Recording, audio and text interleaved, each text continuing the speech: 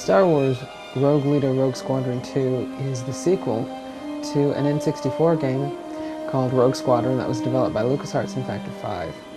The sequel is on Nintendo's brand new system, the GameCube, and really makes a strong case for the power of the system.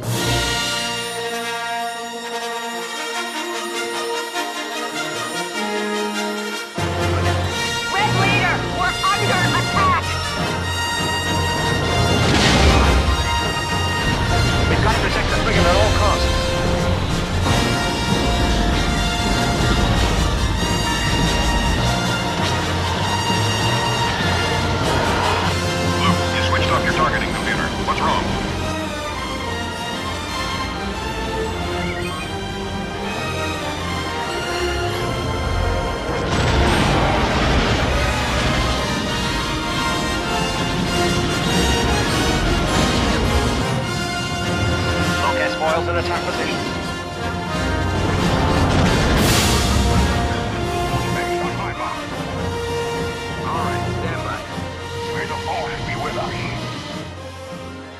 Uh, Factor 5 and LucasArts have managed to really take advantage of the hardware very quickly. The game was developed in under a year, and while a lot of the gameplay elements are taken from Rogue Squadron, there are quite a few enhancements to the game that really make it a very strong product. Uh, like before, you will fly a variety of Star, Star Wars craft, uh, X-Wings, A-Wings, B-Wings, Y-Wings, uh, snow speeders, and, and that sort of thing.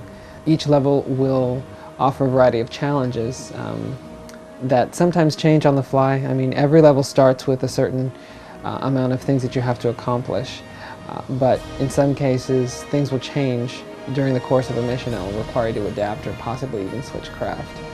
Um, so the gameplay is very classic um, Rogue Squadron. I mean, it, if you played the first game, then you're going to be very comfortable with the way this one plays out.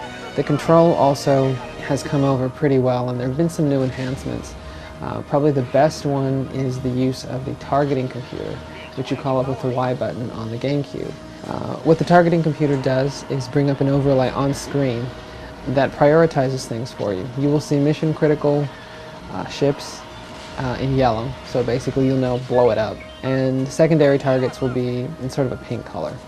Uh, it really helps you in terms of being able to get through the missions quicker and know, you know, not to get wound up in dogfighting with TIE fighters that aren't going to help you finish the mission any quicker.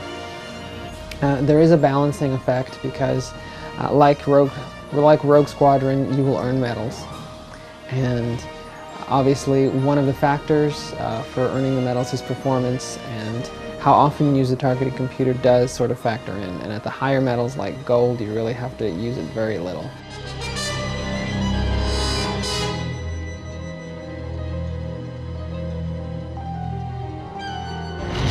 Red Leader here.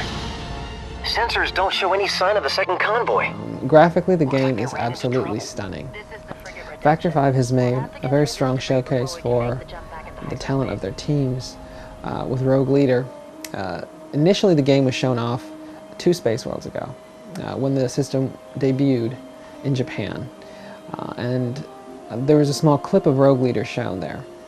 Uh, but coming off of that, uh, Factor 5 decided to just start from scratch, and they did.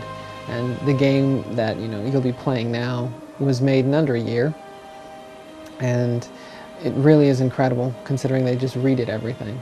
The ships are incredibly high polygon and extremely detailed. The detail, I mean, it, the detail even goes down to when you switch to cockpit level, you can use the C-stick to look around the inside of the cockpit, and it's all been perfectly modeled. Uh, so the attention to detail is just off the hook. I mean, if you're a Star Wars fan, this is your game. It goes without saying that the sound in the game is just pretty stellar.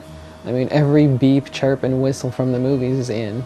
Uh, they've gotten some voice acting uh, to replace uh, some of like the principal actors, just because of I think licensing rights and such. But you know, sort of offset that, they did manage to get Denis Lawson, who played Wedge in the movies, to do all of Wedge throughout the game because you end up playing through the game a lot as Wedge. Um, but the sound is really impressive, and it's even more impressive if you happen to be lucky enough to have a Dolby ProLogic 2 receiver. Uh, if you set the game to stereo, you get some really awesome surround sound.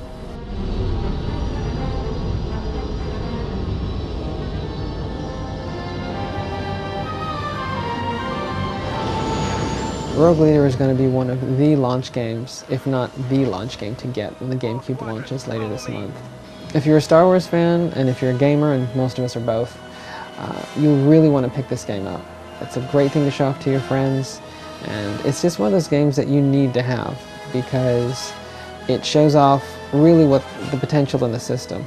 And considering it's just a launch title and they're just getting to know the hardware, um, you know, it's going to be great to see what comes next from Factor 5 and LucasArts.